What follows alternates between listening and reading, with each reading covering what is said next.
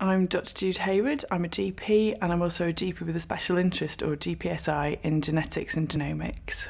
Primary care practitioners will be familiar with the field of genetics, which refers to the study and application of single genes.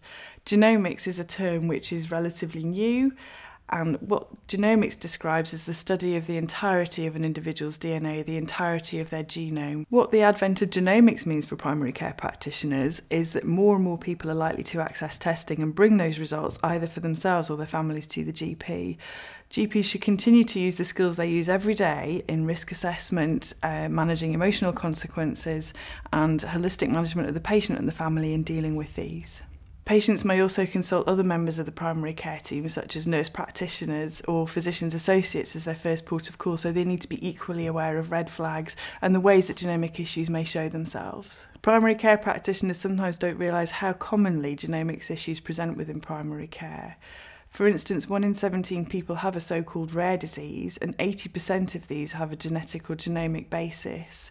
This means that, that a significant number of people or patients on a practice list will have a rare disease. Genomics plays a role in lots of different chronic conditions, including diabetes, cancer, all the things which are um, in general practice every day. So, the, the primary care team's role is incorporating this into the overall care of the patient, whatever their condition is. There are many times to think genetics, including so called red flags, which are things not to miss. For instance, a family history. If someone comes with a family history of a condition with multiple family members affected, particularly if they've been affected at a younger age, the GP should start to think is there something genetic going on here? Another example would be multiple health problems or developmental delay in children. This is another time to think genetics or again a surprising test result such as an unusually high cholesterol with no other explanation. Primary care practitioners may come into contact with genomics in several different ways. Currently, cancer is still the primary way. Either people may come talking about or wanting to ask about a family history of cancer, or people may have been diagnosed with cancer themselves and had treatment tailored to a genomics test result.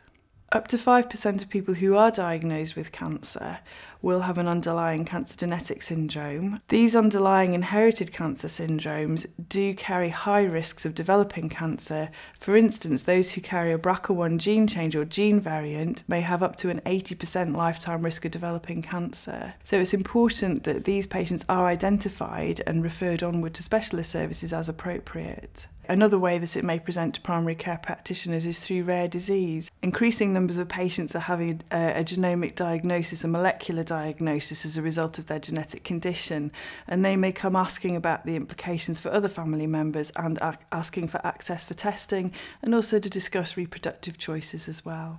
Direct to consumer testing, so patients accessing genomic testing themselves, either through the internet or via a local pharmacy, is becoming increasingly common. So, for instance, if a patient has requested a test result over the internet, a direct to consumer test, they may have considerable anxiety about the result, particularly if there, uh, this result is not deemed to be clinically valid or reliable and therefore no further action would be taken in the NHS. Primary care practitioners are expert in managing emotional consequences, in managing anxiety and reassuring, and helping the patient uh, assess their risk and know what they can do to help themselves. As genomic testing becomes more advanced and increasingly available, more patients may be eligible for testing where they weren't before. This will mean that referral criteria are likely to change, and it's important that primary care practitioners know where to find these up to date referral criteria and have an awareness to reassess when a patient presents with the same problem again.